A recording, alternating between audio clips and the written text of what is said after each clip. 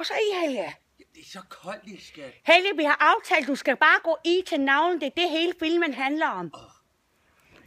Velkommen til Profitrejsers rejsetip med Birgit og Helge. Rejsetips nummer 4. Når du tager afsted på din ferie og skal ud og bage, fordi at, at det er varmt hernede, så sørg altid for kun at gå i til navlen.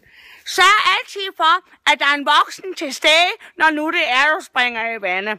Helge, han vil godt have lov til herovre at demonstrere, hvordan man springer i. Gå så i, Helge. Det er simpelthen så koldt, lille skat. Du ligner Elling fra Bamse og Kylling, Helge. Så stopper det, lille skat. Nu går du i til navlen, Helge. Jamen, min navl sidder åbenbart meget lavt. Helge, men det gider jeg ikke at høre på. Nå, det var altså rejsetip nummer 4. Jeg vil hjem. Så Helge, nu styrer du dig.